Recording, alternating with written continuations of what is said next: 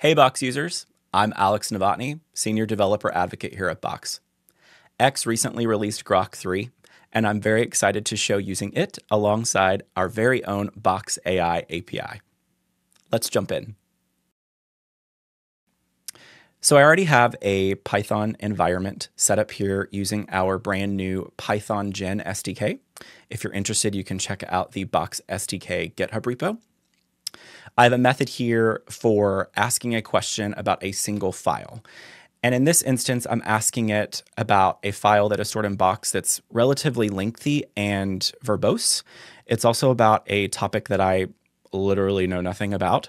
So I asked it in the prompt very specifically. You know, I said it's it's a topic don't really know much about. Parse through it, identify the top five most important concepts, and then redefine them in a way that like a five year old could understand. So let's send this off to Grok and see how it does.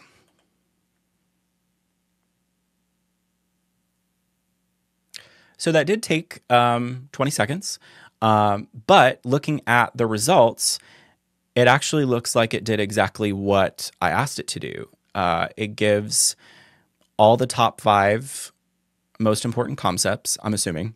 Um, haven't read through the entire paper. Uh, and it does look like it's giving me examples that like a five year old could understand. So, yeah, that's pretty impressive.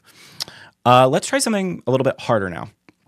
So, also in Box, I have a few different invoices. Uh, they're all different types. So, like in this case, it looks like this. Um, another invoice looks totally different, different currencies. Um, and this one again, totally different format um, in dollars. Uh, and I'm going to ask it to return a JSON schema that looks sim- similar to this. Basically saying, you know, what's the total amount for all the different invoices? How many invoices do I have? And break it down on a per invoice basis. And let's see if it like processes the dates correctly or actually makes this format. So again, uh, pretty quick, um, about nine seconds.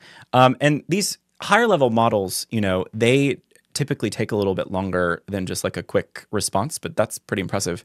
Um, looking, it actually did do the correct total um, and gave me three invoices, as well as broke down the schema exactly as I asked it to. Um, the one call out I'll just say is it looks like it could use some work on the dates, uh, but that could be easily remedied with a couple of, you know, code swaps replacements. Um, but overall, this is really cool.